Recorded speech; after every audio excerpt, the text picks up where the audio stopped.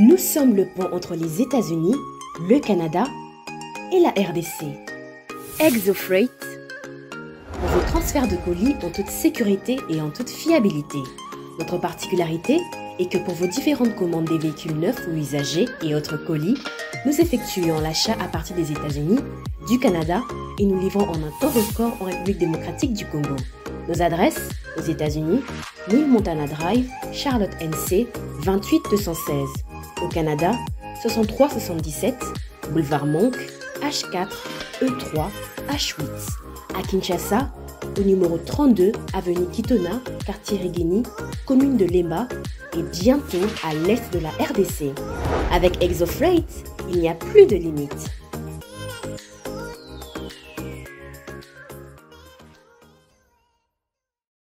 Messieurs, dames, bonjour à tous, bienvenue dans cette émission Entre les lignes. Merci de nous faire confiance. Aujourd'hui, nous parlons de trois sujets particulièrement. On parle de l'état de siège qui a été évalué il y a quelques jours.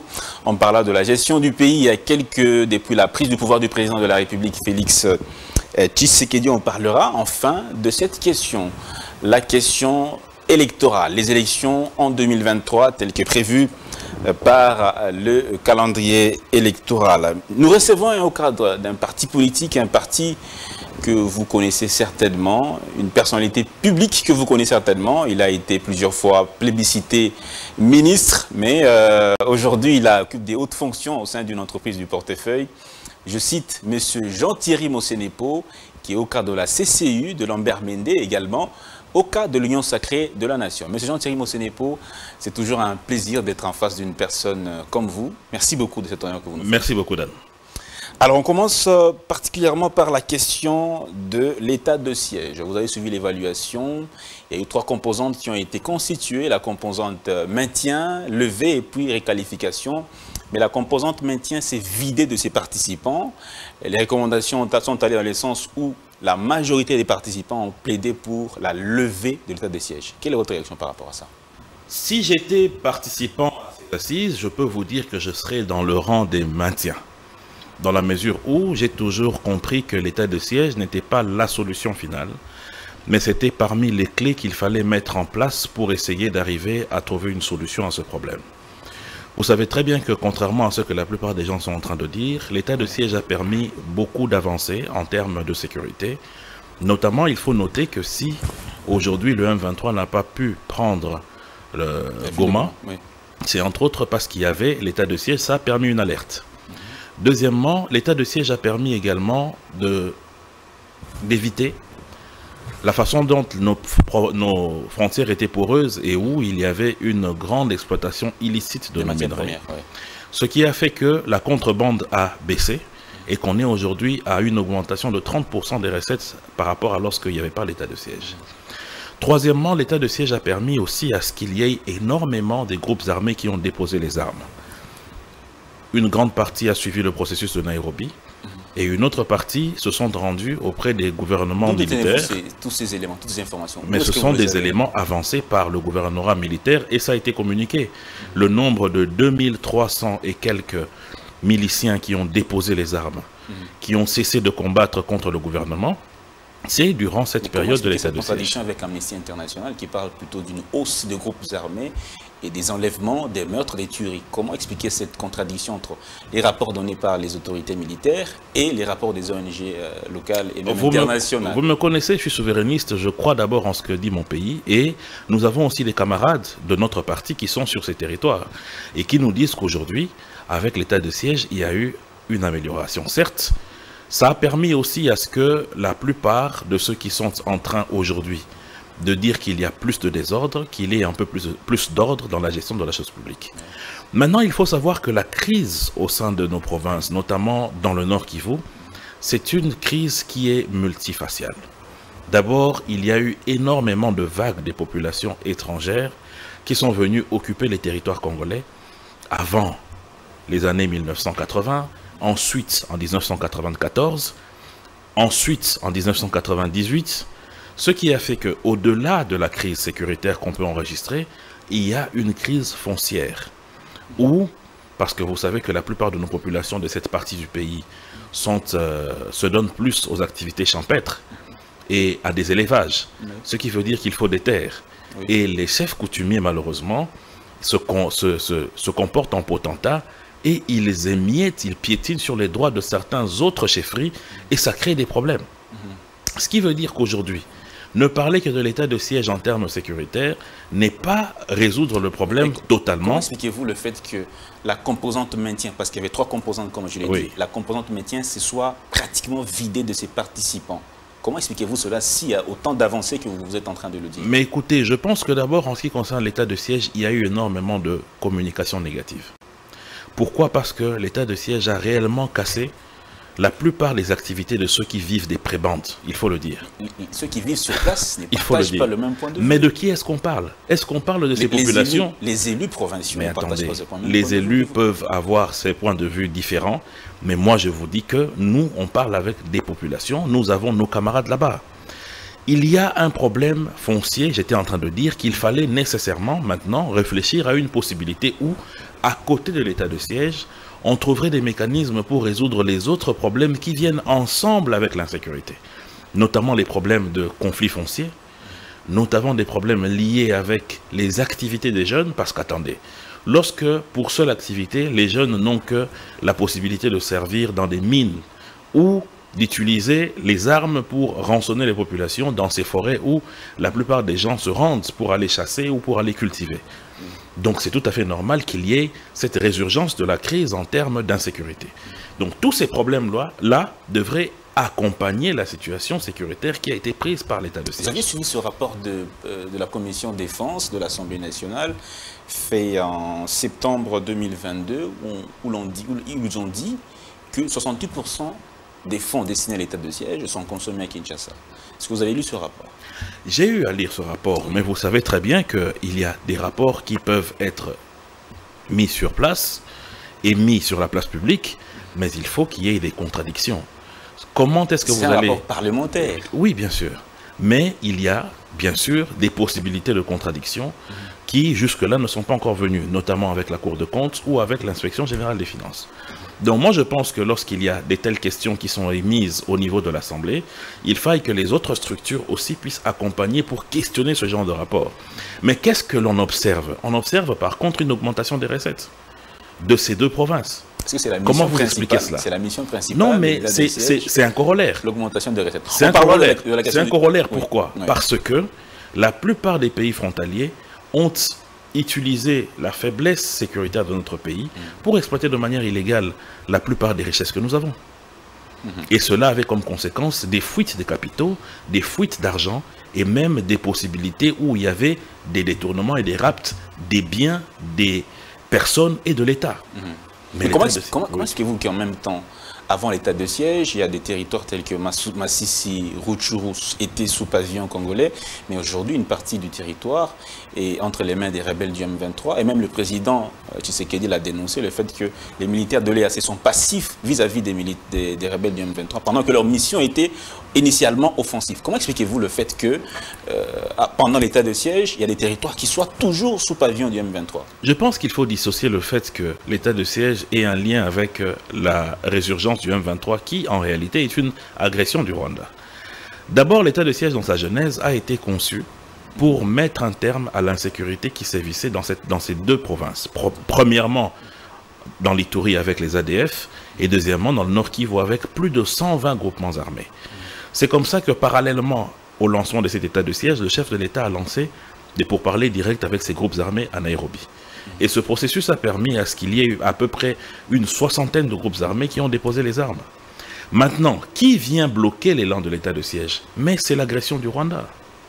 C'est l'agression du Rwanda qui vient perturber les donnes. Et cette perturbation, au moment où notre armée était en train d'être restructurée, au moment où nous avions la plupart des troupes qui étaient en opération dans le sud Kivu, en opération éparpillée dans le nord Kivu, en Ituri également pour soutenir l'état de siège, il y a eu cette agression du Rwanda, ce qui a fait que la plupart des troupes étaient obligées d'être concentrées dans les zones d'opération. Parce que quand on lance l'état de siège, on combat qui? On combat des guérillas. On ne combat pas une armée structurée. C'est-à-dire qu'il fallait un déploiement conséquent euh, dans mon uniforme pour combattre des jeunes qui la journée étaient des paisibles citoyens, mais qui la nuit se transformaient en perse-gorge.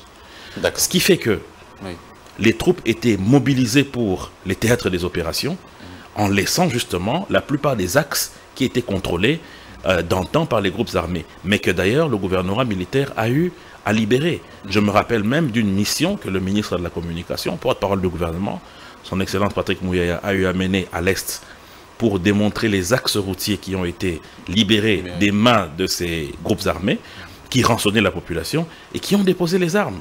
Donc ça signifie qu'il y a eu du positif, mais étant donné que l'état de siège, justement, a contrecarré certains plans, notamment du Rwanda, il fallait alors qu'il entre en pleine guerre avec nous. Pour finir sur cette question, vous êtes vraiment pour le maintien de la forme actuelle de l'état de siège? Je suis pour le maintien de l'état de siège, mais avec cette fois-ci mhm. des corollaires qui puissent appuyer les différents autres secteurs, tels que, les conflits fonciers, tels que des réponses au travail, à la formation des jeunes.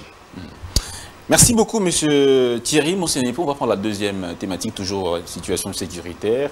C'est les forces de l'EAC, le déploiement des forces de l'EAC.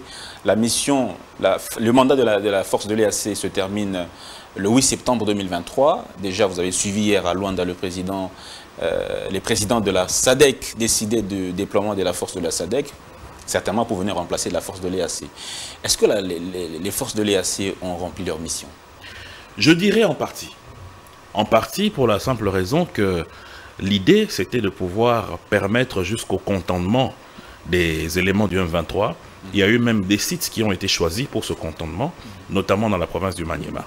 Mais jusque-là, cela n'est pas du tout arrivé.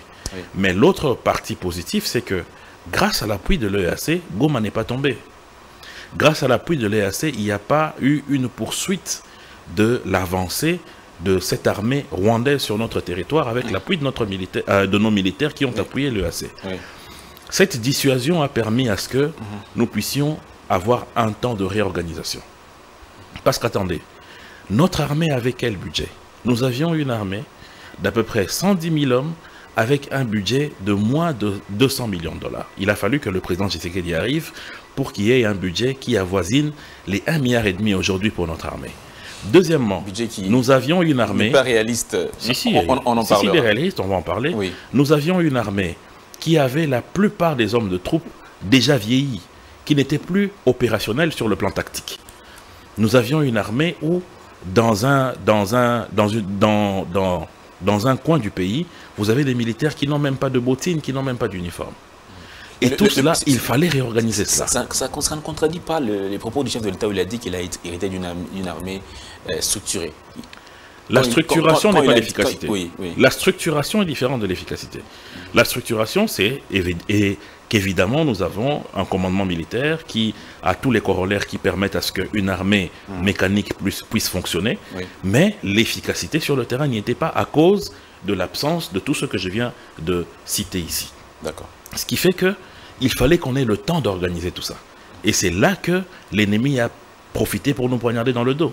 Donc, les frères de l'ERC qui sont venus, ils ont fait un travail qui a permis, c'est vrai, qu'il y ait euh, euh, un recul de l'avancée de, nos, de ces malheureux euh, qui M23, qui en réalité n'est que l'armée rwandaise, de permettre à notre armée de se redéployer, mais seulement il fallait que la, que, que la logique aille jusqu'à son bout, c'est-à-dire le contentement de ces éléments négatifs du M23. Comment commentez-vous le propos du ministre des Affaires étrangères, Christophe Lutondoula, qui a dit que les résultats de la force de l'EAC, les résultats ont été euh, mitigés, les résultats sont mitigés des, forces de l'EAC C'est exactement ce que je viens de dire, c'est-à-dire que c'est mi-figue, mi-raisin. ce n'est pas totalement négatif, ce n'est pas non plus totalement positif, mhm. mais d'une partie, d'une part, ils ont eu à remplir un job, celui d'appuyer notre armée, celui de dissuader l'avancée de ses troupes, mais aussi d'autre part, il n'y a pas eu la poursuite de la logique qui était jusqu'à ce qu'on ait la possibilité de cantonner ces éléments du M23. Mais initialement, la mission des forces de l'EAC, telle que repris dans la feuille de route de Luanda, c'était que si les M23 refusent d'être cantonnés jusqu'au Maniema, que la mission ait une portée offensive. Oui. C'était jusqu'en novembre 2022. Bien sûr. Mais jusqu'aujourd'hui, on n'a jamais vu l'armée de l'EAC combattre les M23. Voilà. Au contraire, on les a vus cohabiter ensemble. Cohabiter, non. Je n'ai pas vu cela. Moi, j'ai plutôt vu la manière dont ils étaient en train d'accompagner ces gens à rentrer là où ils étaient. Mais par contre, il faut savoir que la première fois que l'EAC organise une mission militaire dans un pays membre, c'était ici en République démocratique du Congo. C'est un peu différent de la SADC qui a déjà eu à mener plusieurs opérations. Donc, ce qui fait qu'à un moment, il fallait qu'il y ait un appui budgétaire de la plupart des pays membres pour aider à ce que cette armée puisse aller dans le sens de la poursuite de sa mission, telle que prévue par la feuille de route de Luanda. Mais les moyens n'ont pas suivi. Pour certains pays qui avaient connu de problèmes, comme euh, le cas de, de, de l'Angola, comme le Kenya qui est en train de vivre une situation économique assez morose à cause de l'inflation, il y a tout ça qui a fait en sorte que le projet puisse avoir du plomb dans l'aile.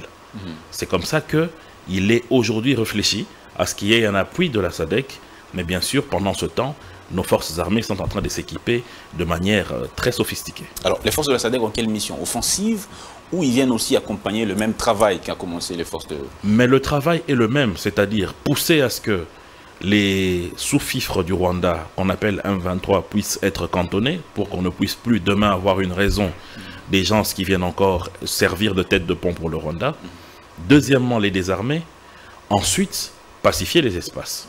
Et cette mission, c'est la mission qui est dévolue aujourd'hui, la mission de la SADEC et aussi la mission de la MONUSCO. Comment expliquez-vous que le Rwanda ne soit pas, toujours pas sanctionné pendant que beaucoup de rapports des Nations Unies indiquent clairement que ce sont des Rwandais qui agressent la RDC Pourquoi il n'y a pas de résolution au niveau des Nations Unies pour sanctionner le Rwanda Pendant qu'on voit la, la Russie qui est condamnée un peu partout dans le monde? Qu'est-ce qui explique cela? C'est ce que nous, nous sommes en train de dire aujourd'hui, que nous vivons une politique de deux poids, deux mesures. Ce n'est pas compréhensible que nous ayons d'une part un pays comme la Russie qui envahisse de manière délibérée l'Ukraine. Et qu'aujourd'hui aussi, nous ayons le Rwanda qui, de manière délibérée, pour faire même bas sur les richesses d'un pays, déploie ses troupes en RDC et qu'il n'y ait que des petites phrases de remontrance. Que sur le plan réel, il n'y ait pas des sanctions contre un tel pays. Cela n'est pas normal. Donc nous allons continuer, nous, à nous organiser pour que nous ayons suffisamment de moyens pour mettre un terme à ces aventures.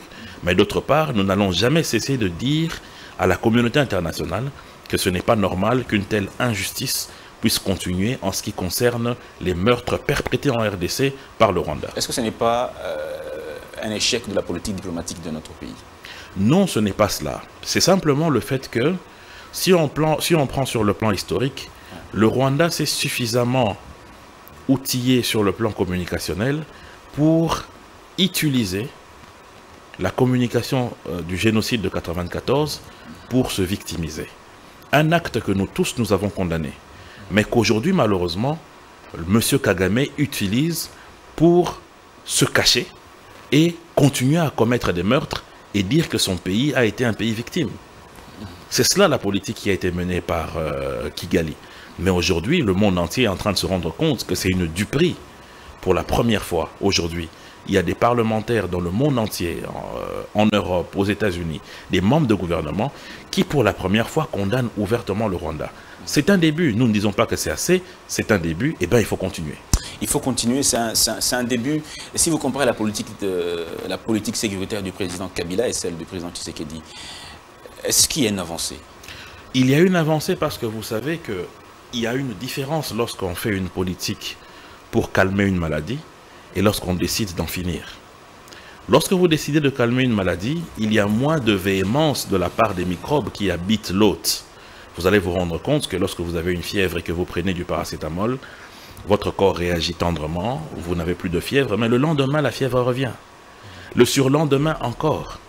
Mais par contre, si vous décidez de prendre une thérapie de choc, à la minute, vous allez avoir des vomissures, vous allez avoir une léthargie, vous allez peut-être avoir même de l'anémie. Mais au finish, vous allez guérir pour très longtemps. Mais temps. Mais attendez, c'est le prix à payer parce qu'il faut voir d'où vient le problème. Le problème, il vient des années 1980. C'est là où, premièrement, il y a eu euh, les vagues de déplacement des hommes armés de l'Ouganda vers, vers, le Zaïre de l'époque. Ensuite, à partir de 92, au Rwanda. Les gens continuent de mourir. Donc, oui, bien sûr. C'est pour vous dire que une situation d'insécurité, de déstabilisation qui aujourd'hui existe depuis près de 40 ans, vous ne pouvez pas le terminer en 3 ans, en 4 ans. Vous avez, raison de dire que... Vous comprenez? Pour, euh, le, pour, son, pour dire que son mandat est réussi, il faudra qu'il mette fin à l'insécurité.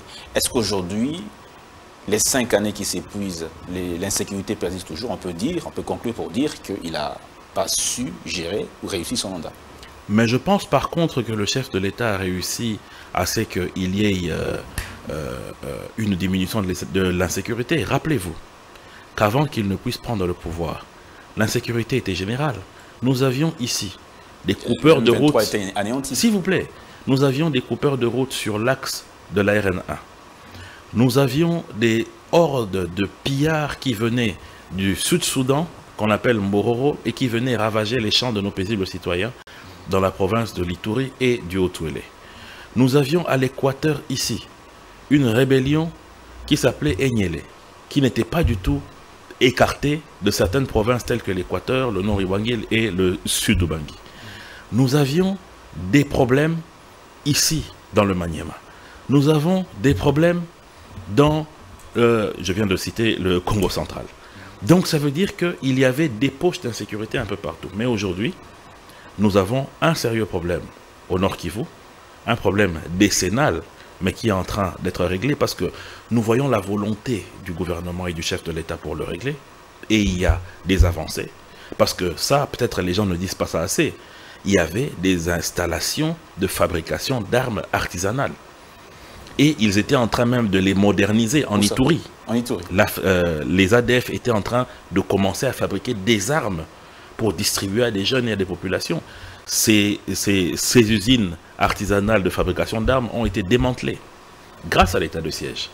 Et lorsque nous allons plus loin, aujourd'hui, nous pouvons très fièrement dire que les autres provinces sont déjà pacifiées, une petite insécurité avait commencé ici, dans le Kwamount, et qui a embrasé aussi la province du Kwilu, en face d'être en face d'être maîtrisée, permet pas aux populations de s'enrôler. En face d'être maîtrisée, et nous sommes en train de penser que très vite la situation au Nord Kivu et en Ituri va aussi prendre des réponses. La situation au Nord Kivu et en Ituri va prendre des réponses euh, rapidement. Parlons maintenant de la gestion du pays pendant presque 5 ans par le président Tshisekedi. Déjà, le budget 2023 a été estimé très ambitieux. 16,8 milliards de dollars américains. L'IGF vient de sonner le glas. Le 1er août dernier, il y a un communiqué de l'IGF qui, qui, a fait savoir que eh bien, jusqu'au 28 juillet 2023, l'État congolais n'a mobilisé que 5,518 milliards américains, soit plus ou moins le tiers à la moitié de l'année. Vous pensez qu'on peut toujours atteindre les 16 milliards sur les 5 mois qui restent? Il faut d'abord comprendre que le projet, de, le budget de 16 milliards a été établi sur base de deux éléments. D'abord sur base des, cours des matières premières, parce qu'il faut savoir que l'économie de notre pays, ce n'est que maintenant que le président de la République est en train de tout faire pour le diversifier. Nous étions dans le tout mine, ce qui veut dire que nous avions tablé... On y est toujours. Oui, mais c'est en train d'aller vers une diversification avec notamment euh, la production pétrolière qui va bientôt reprendre ou, ou, toujours les matières augmenter. C'est toujours les matières premières. Oui, bien sûr, mais, on est, mais ce n'est pas tout mine. Ah donc, nous allons réfléchir. Euh, c'est établi sur les tonnes de cuivre de cobalt. À l'époque, le cobalt était pratiquement à 86 milliards, et à 86 000 dollars la tonne.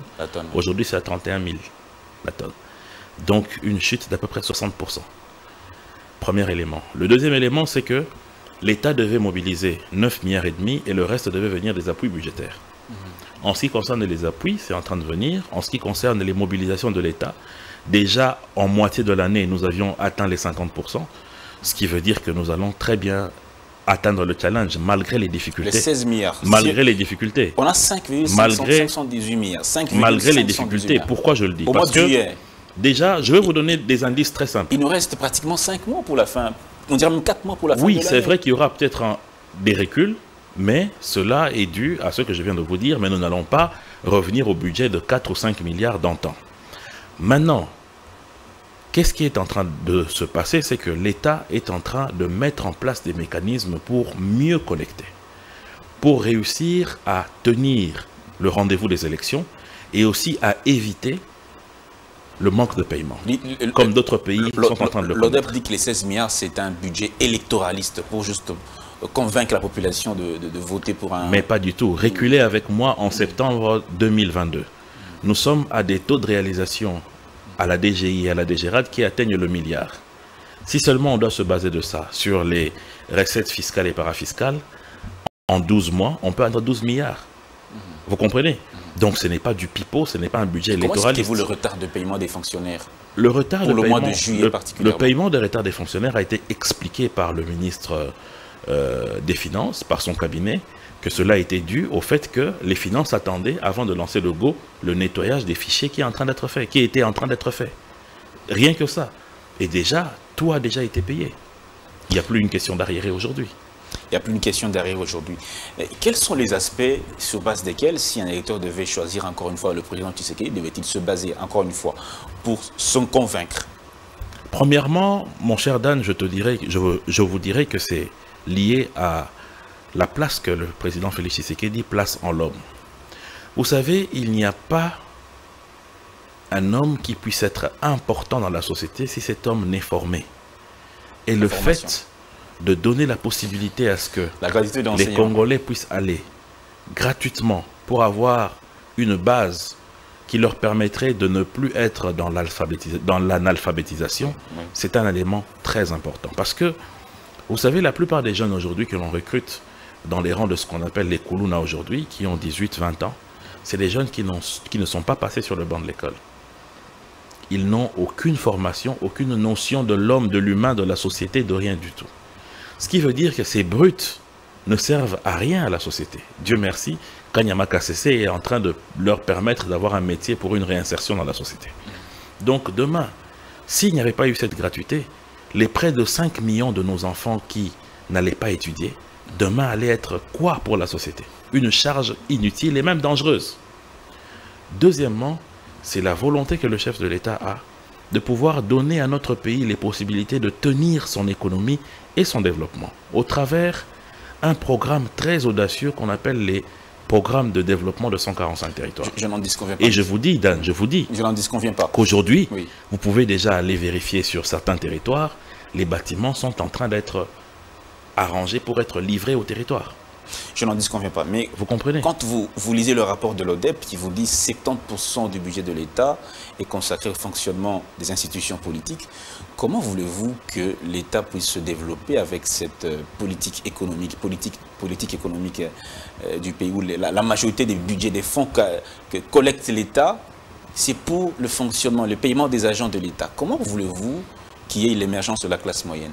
Justement, c'est un danger. Lorsque nous avons un système politique où il n'y a pas d'investissement, où l'État n'a pas la possibilité d'investir Voilà. pour permettre à ce qu'il y ait de la croissance, cela est un danger. Et c'est pour ça que le chef de l'État a toujours martelé auprès de ceux qui sont les autorités du budget de l'État, c'est-à-dire l'Assemblée nationale et le Sénat, de réfléchir sur une réduction du train de vie des institutions. Cela est important pour que ça permette à ce qu'on puisse dégager une manne qui pourrait demain servir à être dans des investissements clairs qui pourraient booster notre pays. Mais déjà, malgré ça, il y a des investissements qui ont été menés pour casser notamment les inégalités spatiales qui sont enregistrées dans notre pays. Ce n'est pas normal Hmm. que quelqu'un puisse avoir ses marchandises Oui.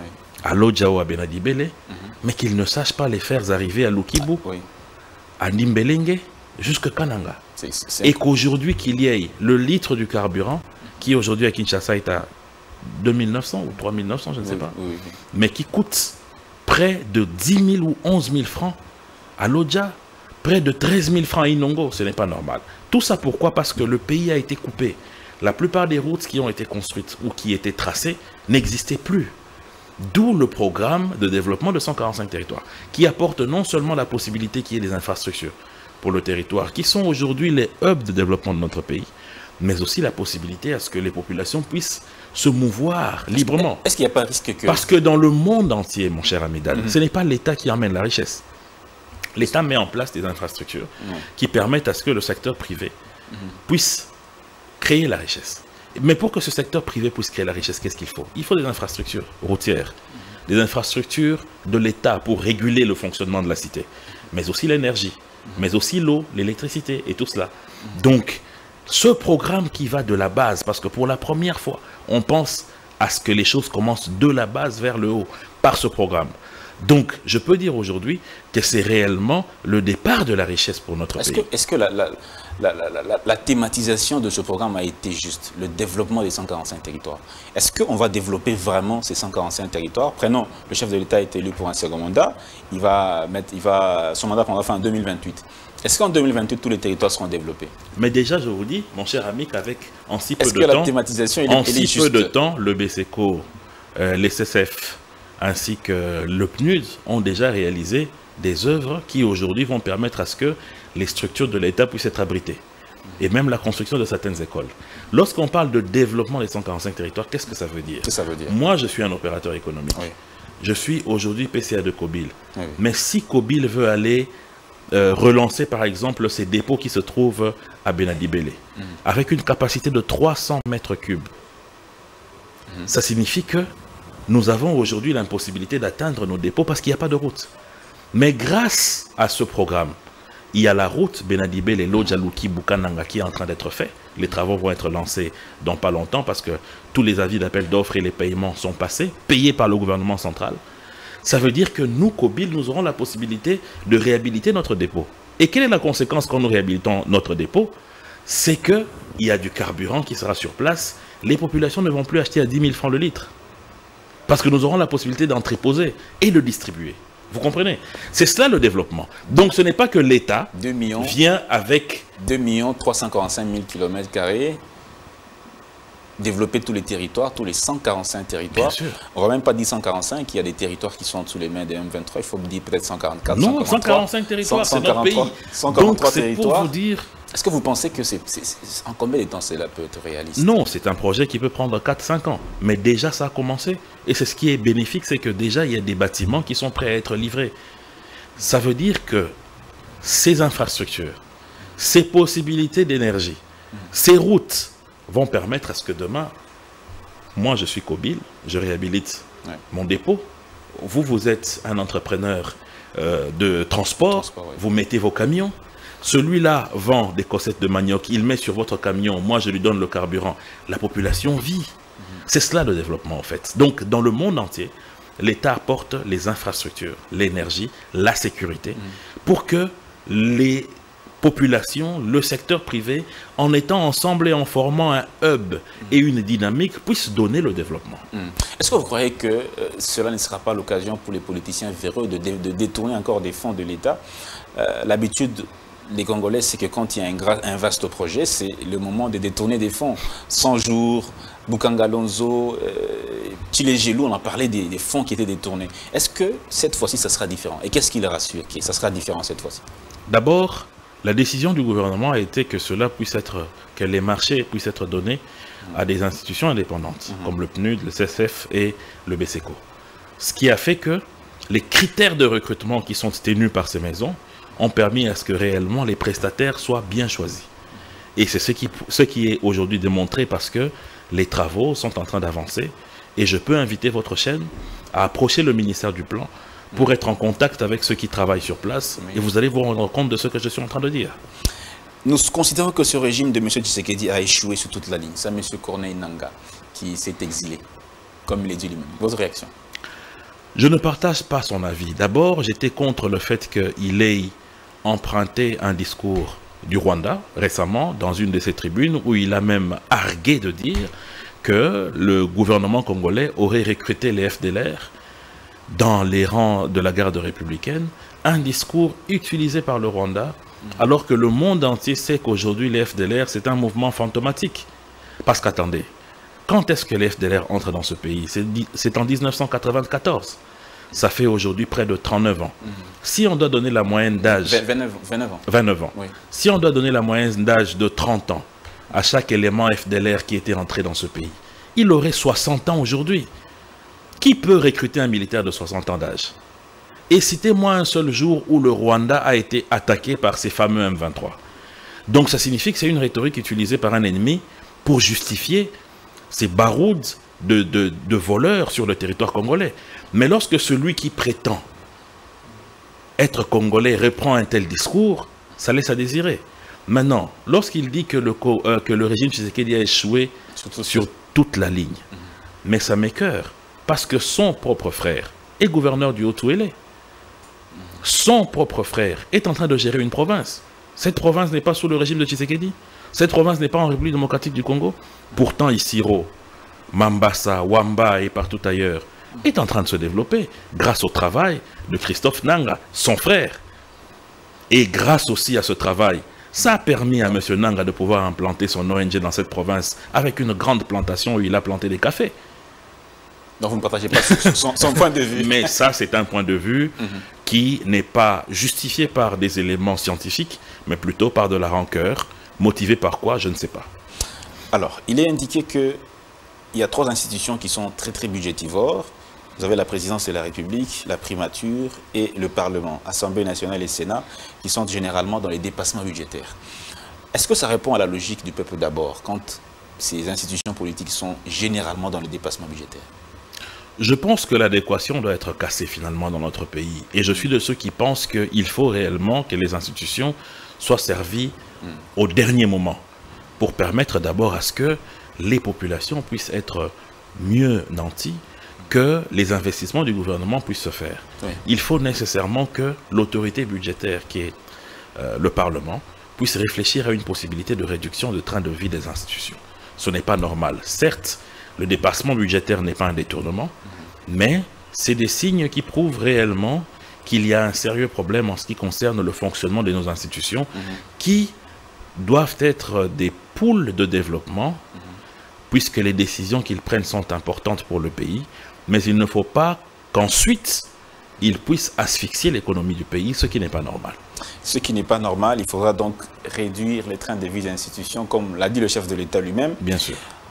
Parlons de la thématique électorale. Les opposants persistent et signent. Faut qu'il y ait audit du fichier électoral par un organisme indépendant. Tout récemment, la mission d'observation électorale SCC5O euh, s'est proposée d'auditer, ils ont appelé cela audit citoyen, mais la CENI n'en veut pas du tout.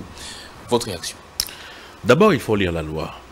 La loi électorale ne parle pas de l'audit du fichier électoral par une institution indépendante.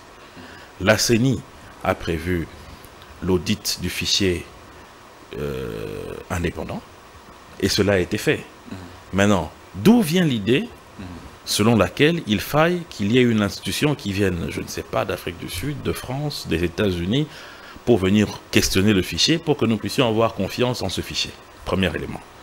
Deuxième élément. L'Église catholique et le CC sont deux asbelles qui sont enregistrés ici au ministère de la Justice. On les a enregistrés comme étant des asbelles pour propager la bonne nouvelle, appuyer l'éducation. Ils ne sont pas recensés comme étant des experts en termes électoraux. Maintenant, lorsqu'il faut leur confier le fichier électoral, qui est un élément sensible, il faut le dire. Qu'est-ce qui ne dit pas qu'ils vont corrompre ce fichier? Qui leur a donné la neutralité se, dont ils se prévalent? Pourquoi Qui leur a donné cette neutralité? Quel intérêt corromprait-il le fichier? Mais justement, parce qu'ils ne sont pas habilités. Nous sommes, nous sommes dans le droit de nous questionner. Donc, la logique serait que nous puissions aller aux élections. C'est la composante Pourquoi les gens qui, est censée accompagner ce processus électoral, notamment dans la mission d'observation. Oui. Et c'est quoi toujours accompagné Vous avez très bien dit, dans la mission d'observation et non dans des missions d'audit. C'est différent. Et non dans des missions d'audit. Ils veulent, et, ils veulent renforcer la, transparence et euh, euh, euh, insister sous la confiance que certains partis prenantes. Mais alors, il ne fallait pas qu'on ait une commission électorale indépendante. Qui dit indépendance demande à ce que la CENI puisse nous emmener aux élections. Mais si à chaque étape, si demain, mon cher Dan, mm. l'Église catholique et protestante disent nous on veut questionner le fichier, la CENI accepte, et qu'ensuite les salutistes viennent, et qu'après c'est les kimbanguistes qui demandent la même chose, et les musulmans refusent de rester derrière, les orthodoxes même chose, est-ce qu'on aura des élections à bonne date? Si la CENI ne devait que répondre à ce genre de caprice, est-ce que nous aurions des élections à bonne date? Et si ensuite, ils se décident à ce qu'ils puissent, dans chaque bureau de vote aussi, placer leurs éléments en dehors des observateurs? Ça n'a pas de sens. aux élections dans ces contextes-ci de la méfiance généralisée, selon vous? Vous savez, mon cher Dan, il y a une méfiance qui serait logique et il y a une méfiance qui est tactique. La méfiance qu'on observe aujourd'hui, elle est tactique. Pourquoi? On enregistre deux blocs d'opposition qui sont en train de soutenir ou de fabriquer des raisons pour ne pas aller aux élections. Le premier bloc, c'est celui de, des gens de FCC qui disent ne pas croire en ce processus. Pourquoi? Parce qu'en réalité, ils ont été habitués à avoir une main mise sur le processus en aidant les institutions et que n'ayant pas cela, craignant la réalité des urnes, ils préfèrent ne pas aller et botter en touche. Deuxièmement, c'est le groupe Fayoulou.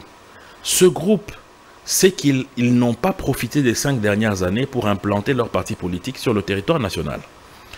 Parce qu'ils ont bénéficié de l'effet de prince en 2018, grâce à l'Église catholique qui les a appuyés via le système des laïcs. Et c'est ce qui a fait qu'ils ont pu avoir un bon poste de second lors de la présidentielle. Mais ils ne sont pas bêtes, ils se disent que cet appui des catholiques, nous, nous ne l'avons plus maintenant. Est-ce qu'on va oser aller s'affronter maintenant alors qu'on n'a pas cet appui qui nous était euh, donné pratiquement gratuitement? Alors qu'est-ce qu'il faut faire? Il faut se victimiser. Il faut commencer à chercher des problèmes. Alors il commence par quoi? Par contester le bureau. Et puis ensuite, vous voyez M. Fayoulou revenir pour dire, finalement, j'accepte euh, M. Kadima, mais pas les autres membres du bureau. Ok, c'est du nouveau. Et puis, vous avez des gens qui vont dire à M. Kadima, nous ne voulons pas des gens de la Cour constitutionnelle, comme si ça concernait M. Kadima. Alors qu'ils savent pertinemment d'où proviennent les juges de la Cour constitutionnelle et comment ils sont euh, amenés à ces différents postes. Il faut que, la loi soit respectée. il faut que la loi soit respectée. Justement, c'est la loi qui est respectée. à tous les niveaux. Où est-ce que la loi a été violée des membres de la CENI, il faut, Lorsqu'il y a... il faut que le Front commun pour le Congo reconnaisse ces membres qui sont à la CENI. Voilà. Quand ils ne reconnaissent pas, voilà. comment voulez-vous qu'ils aient confiance en voilà. Monsieur Dan, lorsque vous avez une loi organique qui dit que le président de la CENI doit provenir de la société, civile sous composante confession religieuse, et que la vice-présidence doit être donnée une à la majorité, l'autre à l'opposition institutionnelle. Maintenant, lorsque cette, cette, opposition institutionnelle se rend compte que celui qui le représente n'est pas des leurs, qu'est-ce qu'il doit faire? Ils n'ont qu'à aller au Conseil d'État pour démontrer par A plus B que ce monsieur n'est pas d'eux, qu'ils ne l'ont jamais recommandé. Encore qu'il faut qu'ils prouvent les textes qui stipulent clairement qu'est-ce qu'il faut comme élément pour recommander quelqu'un. Et si ce monsieur a violé ces textes ou pas. C'est cela la question. Mais lorsque vous passez vos journées à faire des chapelets de mauvaises intentions, ce n'est pas ça à faire respecter la loi. Donc, qui était censé désigner, qui était censé désigner les membres qui doivent représenter Mais l'opposition. Et nous savons que M. Manara était le chef de file de cette opposition à l'Assemblée, en l'occurrence du PPRD. Alors, qui peut aujourd'hui contester à M. Manara cette casquette de chef de file de l'opposition PPRD au niveau de l'Assemblée nationale? qui dirige le PPRD ce n'est pas à moi de le dire, je ne sais pas. Mais moi, je peux vous dire... C'est M. Chadari qui est le secrétaire Moi, je peux vous dire qu'au niveau... Il dit qu'il ne reconnaît pas. Il ne reconnaît pas, monsieur. Voilà. Maintenant, c'est à eux d'aller devant les cours et tribunaux pour dire, voilà la procédure que nous, nous avons pour désigner, voilà la procédure utilisée par M. Manara qui n'était pas bonne. Nous voulons que les choses changent au regard de la loi organique sur la CENI. Hmm. Mais ils ne le font pas. Pourquoi? Est-ce que vous pensez que ce processus ici, il a corrigé les erreurs des processus passés 2018, 2011, 2006 Est-ce qu'il y a eu des corrections des erreurs que nous avons connues dans le passé? Moi, je pense qu'il faut juger à l'œuvre. Et la première œuvre qui a été celle de l'enrôlement des électeurs, c'est bien passé. Sûr et certain Bien sûr, c'est bien passé. Parce que je ne vais pas m'attarder lorsqu'il y a, on parle d'une trentaine de millions d'électeurs et qu'il y a eu une centaine de cas où il y a eu des problèmes, mais attendez, ça ne représente même pas 0,5%. La, qualité des cartes d'électeurs aujourd'hui où les données s'effacent. Ça, c'est un autre problème. La qualité des cartes d'électeurs, c'est un autre problème. Il fallait non seulement gagner le temps, parce que les gens oublient une chose, c'est que nous avons passé plus de deux ans sur le débat en ce qui concerne la mise en place du bureau de la CENI. Est-ce qu'il fallait encore perdre le temps sur les visages des gens. Non, il faut que les gens soient beaux sur leur carte, il faut que et les gens soient belles sur leur carte, il faut que ce soit en couleur. Il fallait aller vite, mais avoir l'essentiel. Quel est l'essentiel? C'est que vos données personnelles soient reprises sur la carte et soient enregistrées dans le fichier de la CENI. C'est ce qui a été fait. Ensuite, lorsqu'on doit dire la carte est petite, la carte ne me représente pas bien, ça c'est autre chose. Donc, ces gens-là sont dans une politique de chaises brûlées, euh, de terre brûlée, et ils ne vont jamais entendre raison. Alors pourquoi est-ce que dans un contexte démocratique, on va commencer à entendre une minorité qui refuse d'aller aux élections Pas parce que les dés sont pipés, mais parce qu'ils n'ont pas les moyens qui leur permettaient de manière réelle à contourner le pouvoir du peuple, vers lequel nous, nous allons en, décembre de cette année. Que répondez-vous, Madame euh, l'ambassadrice de, des États-Unis qui dit l'inclusivité, la crédibilité des élections dépend du retour de certains politiques dans ce processus Que lui répondez-vous? Euh, Nous ne sommes pas aux États-Unis. Nous sommes au Congo. C'est les Congolais qui vont aller au vote. Et c'est notre loi électorale qui détermine tout. La loi électorale ne parle pas d'inclusivité obligatoire lorsque vous avez. Aux élections de, Mais ils sont aussi un pays démocratique et je pense que Son Excellence Madame l'ambassadrice sait. Que lorsqu'on parle de démocratie, il y a des gens qui sont libres de ne pas venir. Mais qu'est-ce que vous cachez dans ce fichier? Qu'est-ce qu'il Qu'est-ce que la CENI cache finalement dans ce fichier? Mais vous devez savoir qu'elle refuse de se faire. Si elle n'a rien à se S'il fallait. Pourquoi, pourquoi elle ne laisse pas Mais ceux qui ont fait la loi électorale. Si elle refuse que la CENI, la CINCO et les SCC le fassent, qu'elle convoque alors un organisme international. Mais c'est ce qui a été fait. La CENI a convoqué. Non, non, non. Ce n'est pas un organisme, c'était quelques experts recrutés. Mais c'est ce que dit la loi. C'est ça qu'on appelle l'audit indépendant. C'est-à-dire que ce n'est pas l'audit de la CENI. Et c'est à la CENI de choisir. Ce n'est pas à des gens de pouvoir décider, nous on va croire que si c'est le Vatican. Non. Alors, on va prendre la toute dernière question. Est-ce que c'est normal Parlons de l'Union sacrée de la nation. Est-ce que c'est normal que euh, des animateurs d'institutions soient membres d'une formation politique comme l'Union sacrée de la nation Le Présidium, Mbosso, Bati, qui sont des présidents d'institutions. Est-ce que ce n'est pas incompatible Ce n'est pas une violation de la loi qui dit que les mandats parlementaires sont incompatibles avec toute autre fonction?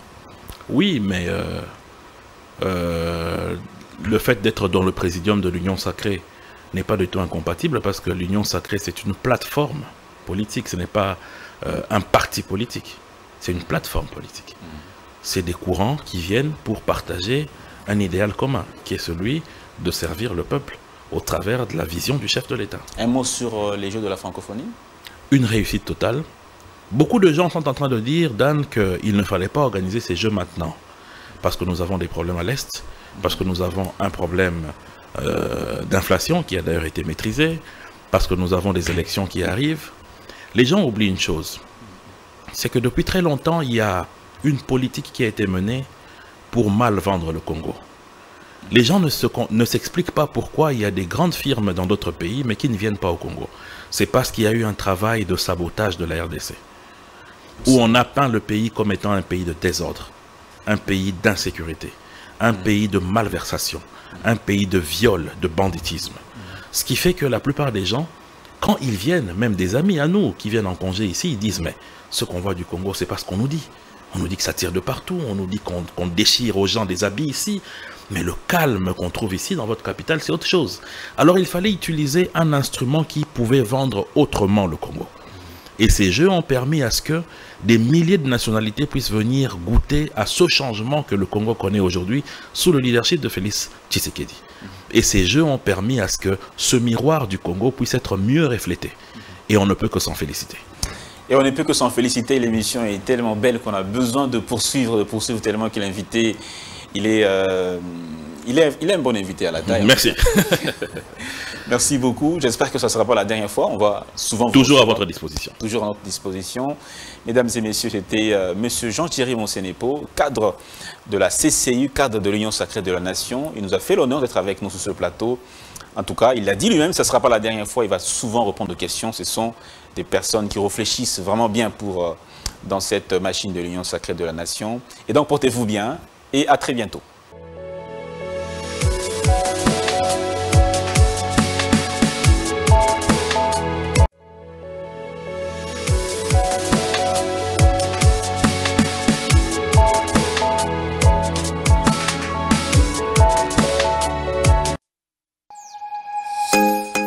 sommes le pont entre les États-Unis, le Canada et la RDC. ExoFreight, vos transferts de colis en toute sécurité et en toute fiabilité. Notre particularité est que pour vos différentes commandes des véhicules neufs ou usagés et autres colis, nous effectuons l'achat à partir des États-Unis, du Canada et nous livrons en un temps record en République démocratique du Congo. Nos adresses aux États-Unis, 1000 Montana Drive, Charlotte NC, 28216. Au Canada, 6377 boulevard Monk, H4, E3 Auschwitz, à Kinshasa, au numéro 32 avenue Kitona, quartier Rigini, commune de Lemba et bientôt à l'est de la RDC. Avec ExoFreight, il n'y a plus de limites.